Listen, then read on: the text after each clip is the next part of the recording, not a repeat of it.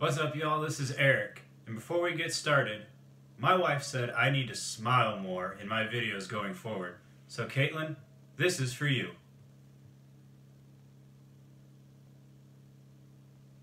Now, let's talk about the NBA, where the Board of Governors is set to approve a plan to resume the season at the end of July.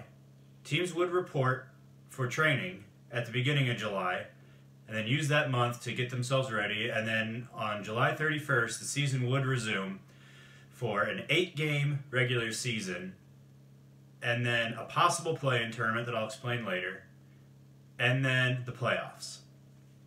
So, they're going to have 22 teams.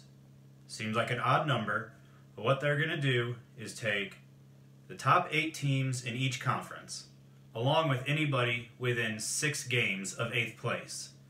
So, in the Western Conference, that means everybody except the Warriors and the Timberwolves. In the East, there's not as many teams who are that close. So the Cavaliers, Hawks, Pistons, Knicks, Bulls, and Hornets. Sorry, but you guys are done. So, that season will kick off at the end of July at the World Disney Walt Disney World Resort presumably the ESPN Wide World of Sports.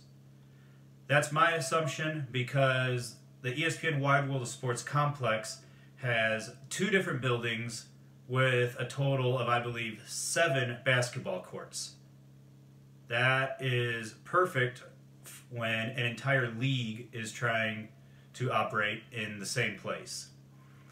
Now, at the end of the season, they are looking at having a play-in tournament if the team in ninth place is within four games of the team in eighth place in a given conference.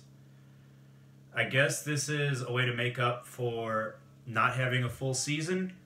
I don't think it's necessary because you're talking about an 82 game schedule where teams already have played around 65 games and I know it's not a full season, and I know maybe maybe a team wins seven of their first eight and makes up a bunch of ground and then just runs out of games.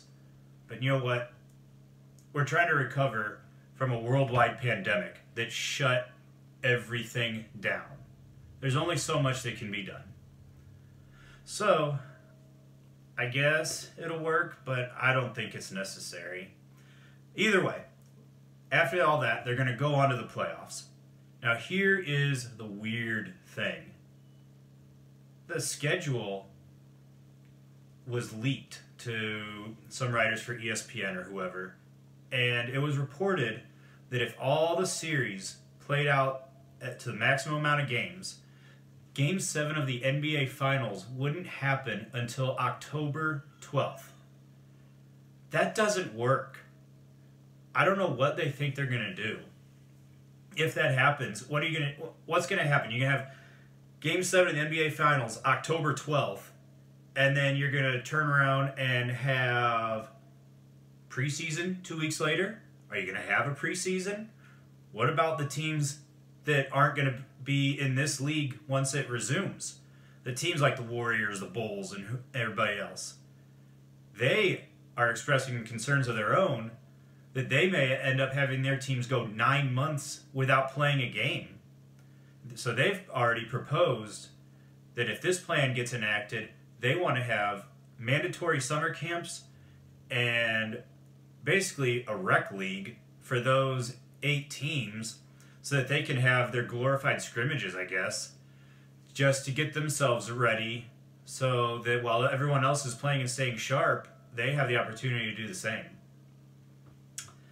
Now, I think the proper response for the NBA with their playoffs would be to shorten, especially the first round. I believe the NHL, in their proposed format, is going to do a shortened series in the first round. I think they ought to do it like Major League Baseball. So, what you would do is you have games one and two on back to back nights. I know that's not the norm for the NBA but everyone's fresh. They're coming off of, uh, it's going to be what, almost four months without a game. Everyone's going to be fresh. They, they're going to be able to play back to back games. So you play games one and two, back to back nights. then you have a travel day, then you have games three and four, and then if necessary, a travel day and game five. Because that's that that that'll save you a couple of days, and maybe by the time it's all said and done, maybe you shorten the second round.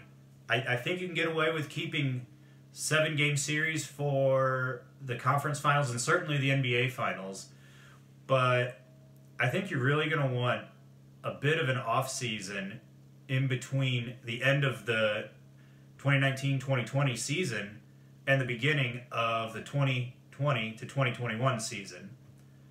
Otherwise, if you want an off season, you're looking at shortening the 2020 to 2021 season to what? 50 games? 60 games maybe? I think you want to bite the bullet and have just a more abbreviated playoffs this year so that you're not feeling it as much next year. But the owners in the NBA know more about the finances than I do, and you can bet that that's driving the bus as far as scheduling and put, putting all this together. Either way, at the end of the day, we are taking one big step toward getting NBA back, and that's good. Let me know what you want to hear me talk about next. Leave some comments. If you like what you're seeing, go ahead and hit subscribe. Thanks.